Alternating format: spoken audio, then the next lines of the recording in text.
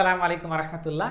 Welcome back to fluid mechanics তো আমরা fluid স্ট্যাটিক্সের অলরেডি হাইড্রোস্ট্যাটিক ফোর্সেস অন সারফেসের কয়েকটা মানে আইটেম দেখে ফেললাম, যেটা আমাদের প্লেন সারফেস হয়, সেই প্লেন সারফেস যদি আমরা একবার হরিজন্টালি সাবমার্স করি, একবার ভার্টিক্যাল সাবমার্স করি, একবার ইনক্লাইন্টলি সাবমার্স করে দেখলাম যে কীরকম আমরা প্রেশার পাই।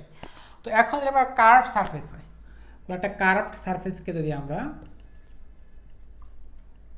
বা কার্ভড প্লেনকে যদি আমরা কোনো একটা ফ্লুইড বডিকে বডিতে সাবমার্সড করি বা ইমার্সড করি, সেক্ষেত্রে এই কার্ভ সারফেসে আমরা কী ধরনের প্রেশার বা ফোর্স পাই এটা আমরা একটু দেখব। তার প্রথমে একটা ফ্লুইড বডি চিন্তা করি আমরা। তো এটা চিন্তা করি হচ্ছে তার ফ্রি সারফেস ফ্লুইড বডির তো এখানে ধরি হচ্ছে আমার একটা কার্ভ সারফেস ধরি হচ্ছে এরকম, ধরতে পারি। একটা কার্ভ সারফেস সাপোজ এটা আশা করি বোঝা যাচ্ছে। আমি ডাবল করে দিই সারফেসটাকে এরকম একটা সার্ভিস আছে কার্ভড ঠিক আছে? তো এখন আমরা জানি হচ্ছে যে ফ্লুইড রেস্টে থাকে হাইড্রোস্ট্যাটিক যে আমার প্রেশার সেটা কি? প্রেশার পি ইকুয়াল টু হচ্ছে আমার গ্যামা এইচ তো যে কোনো পয়েন্টে আমি চিন্তা করি এখানে, তো এই যে কোনো পয়েন্টে যে আমার এই ফ্রি সার্ফেস থেকে কতটুকু হাইট এটা যদি গুণ করে দেয় আমার স্পেসিফিক ওয়েটকে তাহলে কিন্তু ওই পয়েন্টে আমরা কিন্তু প্রেশার পেয়ে যাব। তো অবভিয়াসলি আমরা এখানে দেখতেছি যে আমার প্রত্যেকটা পয়েন্টে কিন্তু প্রেশার ভ্যারি করবে। যেহেতু আমার প্রত্যেকটা পয়েন্টেই কিন্তু আমার এখান থেকে ইয়াটা ভ্যারি করতেছে মানে হাইটটা ভ্যারি করতেছে, ঠিক আছে? বা ডেপথটা ভ্যারি করতেছে। তো এখন আমরা ধরি একটা যে কোনো একটা পয়েন্ট চিন্তা করি, যে এখানে একটা পয়েন্ট নিই আমরা ধরি। অথবা আমরা এটাকে ব্ল্যাক পেজে দেখাইতে পারি, যাই তো এখানে একটা পয়েন্ট চিন্তা করি আমরা। তো এই পয়েন্টে আমরা ধরলাম হচ্ছে এখানে এটা হাইট যে একটা আছে, থাকুক। তো এখন আমার এখানে প্রেশার চিন্তা করি, তাহলে কীভাবে কাজ করবে সেটা? প্রেশার ফোর্সটা এভাবে কাজ করবে। কেন এভাবে কাজ করবে? আমরা জানি হচ্ছে প্রেশার কিন্তু একটা ফ্লুইড বডিতে চারদিকে লম্বভাবে কাজ করে। যে কোনো একটা প্রেশার দিলে আমরা সার্ফেস চিন্তা করি সার্ফেসের উপর কিন্তু লম্বভাবে কাজ করবে। তো এখানে সার্ফেস এখানে লম্ব কিন্তু এরকম। তাহলে আমরা এখানে চিন্তা করি তার প্রেশারটা কিন্তু এইভাবে কাজ করবে। এখানে চিন্তা করলে কিন্তু এইভাবে কাজ করবে। ঠিক আছে? তো এখন যদি আমরা এখানে একটু চিন্তা করি যে ছোট্ট একটা স্ট্রিপ নেই আমরা ধরলাম এখানে নিলাম আমরা ছোট্ট একটা জায়গায় নিলাম। এটা তো আমার ভিতরে, এটা তো আমরা দেখছি সাইড থেকে সাইড ভিউটা ভিতরে কিন্তু এখানে স্পেস আছে আমার, ঠিক আছে? তো এখানে আমরা এরিয়া চিন্তা করলাম একটা ডিএ ডিএ এরিয়া চিন্তা করলাম আমরা। তাহলে এটা যদি আমার এটা যদি আমার এখানে হাইটটা হয় আমার চিন্তা করি যে আমরা এক্স চিন্তা করি আমরা, বা ওয়াই যেটা চিন্তা করি না, এখানে একই কথা। চাইলে এইচ চিন্তা করতে পারি, একই জিনিস। সো আমার তাহলে এই পয়েন্টে প্রেশার কত হবে? প্রেশার হবে অবশ্যই গ্যামা এক্স এবং এখানে ফোর্স কত হবে? তা ডিএ এরিয়া দ্বারা গুণ করে দিলে আমি এখানে ফোর্স পাবো। তো ডিফারেন্সিয়াল একটা ছোটো জায়গা ছোটো একটা ফোর্স পাবো। এখন কি আমরা একটা কথা আছে, তাহলে আমি এখন, এর আগে আমরা দেখছি যে যখন আমরা এরিয়া ভ্যারি করতেছিল, তখন কি এরিয়া না মানে প্রেশার ভ্যারি করতেছিল, তখন কিন্তু আমরা ইন্টিগ্রেশন করে টোটাল এরিয়ার জন্য প্রেশার ক্যালকুলেশন করছিলাম। এর আগের যে প্রবলেমগুলো আমরা দেখছি, এরকমভাবে সলভ করছি। কিন্তু এখানে কি আসলে আমরা এইভাবে ইন্টিগ্রেশন করতে পারব? উত্তর হচ্ছে না, কেন পারব না হচ্ছে?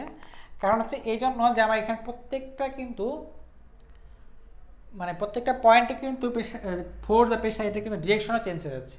সো ডিরেকশন চেঞ্জ হয়ে যাওয়ার কারণে কিন্তু আমরা এটা ইন্টিগ্রেশন করতে পারব না। এটা কেন পারব না? কারণ হচ্ছে আমাদের খেয়াল করি যে আমার আমরা ইন্টিগ্রেশন যখন করি, কেমন করি ইন্টিগ্রেশনটা আসলে এক্স থাকে। তো এরকম ধরে একটাই তো আমরা এখানে ছোট্ট একটা জায়গা নিই। এটাকে ধরি হচ্ছে আমরা ডিএক্স ধরি এই জায়গাটাকে। এটা হচ্ছে আমার ডিএ হয় তখন। তো এখন যদি খেয়াল করি যে আমার কিন্তু যে কোনো একটা বরাবর এটা কিন্তু একটা দিকটা নির্দিষ্ট থাকে। যে আমার এটা ভ্যারিয়েবলটা এক্স ভ্যারিয়েবল যেটা, এটা কিন্তু এই জায়গায় নির্দিষ্ট। বাট এখানে যদি চিন্তা করি, এখানে এক্স এখানে এখানে যদি আমরা এরিয়াটা এখানে চিন্তা করি, এটা কিন্তু যেই আমি বুঝতে পারতেছি না, জানি না থ্রি ডাইমেনশন হলে বোঝা যেত। এটা প্রত্যেকটা জায়গায় এরকম কিন্তু, এরকম থাকতেছে এটা কিন্তু কার্ভ হয়ে যাবে তখন জিনিসটা।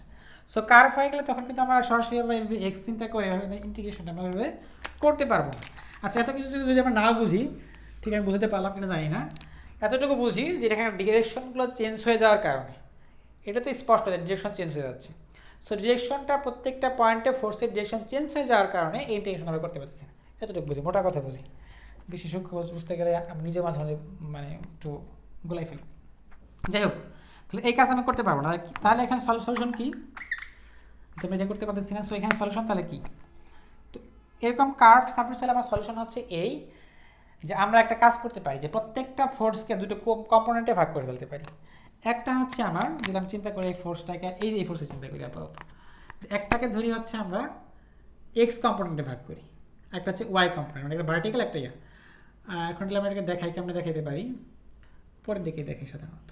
যদিও আমার ফোর্স নিচের দিকে হচ্ছে, কিন্তু আমরা ডিরেকশন ধরে আমরা এটাকে মানে রিয়াকশন যে ফোর্স সেটা চিন্তা করতে পারতেছি, পার- পারি চাইলে। তো এই, তো একটা হচ্ছে আমার ভার্টিক্যাল ফোর্স তাই এটাকে এফ ভি বলি, এটাকে এফ এইচ বলি। এটা ধরে আমার এফ ঠিক আছে? এখন তাহলে কিন্তু আমরা এটাকে ধরে আমার থিটা অ্যাঙ্গেল ঠিক আছে? তো এই ক্ষেত্রে কিন্তু আমরা যে প্রত্যেকটার ভার্টিক্যাল কম্পোনেন্ট পাই। যদি এখানেও চিন্তা করি, এখানে ধরি একটা ভার্টিক্যাল কম্প এখানে দিতে হবে ভার্টিক্যাল হবে না, কারণ এখানে আসতে হচ্ছে পুরোটাই হরিজেন্টাল বরাবর। সো এই পয়েন্টে কোনো একটা পয়েন্ট এরকমভাবে আছে, তাহলে অবশ্যই একটা ভার্টিক্যাল কম্পোনেন্ট একটা হরিজেন্টাল কম্পোনেন্ট পাবো। অন্যভাবে বললে আমরা একটা এক্স কম্পোনেন্ট একটা ওয়াই কম্পোনেন্ট পাবো।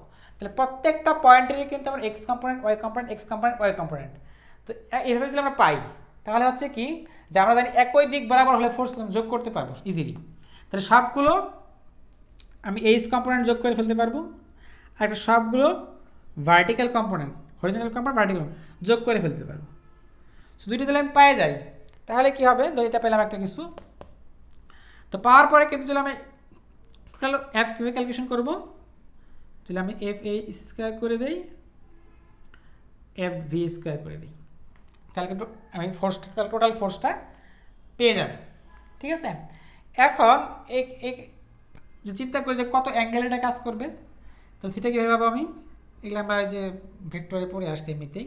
তাহলে tan inverse F V minus হচ্ছে আমার কি? এফ এইচ এভাবে কিন্তু আমরা এটা ক্যালকুলেশন করে ফেলতে পারব।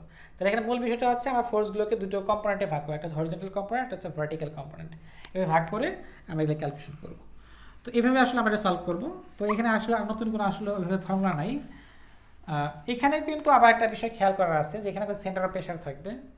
মানে প্রেশারটা পয়েন্টে কাজ করবে। এই শেপের একটা কি সেন্টার অফ গ্র্যাভিটি থাকবে মানে জি থাকবে। মানে সি আর জি কিন্তু থাকবেই, ঠিক আছে? তো এখানে মূল বিষয়টা হচ্ছে এই যে আমরা যদি কার্ভড সারফেস হয়, যদি আমরা সামারাইজ করি, তাহলে কার্ভড সারফেস হলে আমরা এটা কি করতে হবে? ফোর্সটাকে ভার্টিক্যাল এবং হরিজন্টাল কম্পোনেন্টে রিজলভ করে, ভাগ করে তারপরে ক্যালকুলেশন করতে হবে, তাহলে এটা আমরা সলভ করতে পারব। তো আশা করি আমরা বুঝতে পারছি। আসলে এটা যখন আমরা প্রবলেম দেখাই দেবো প্রবলেম সলিউশন দেখাই দেবো এক্সারসাইজ দেখাই দেবো, তখন এটা আরও একটু ক্লিয়ার হয়ে যাবে। তো আশা করি সবাই ভালো করে বুঝব তখন আবার। ভালো থাকি সবাই। আসসালামু আলাইকুম রহমতুল্লাহ।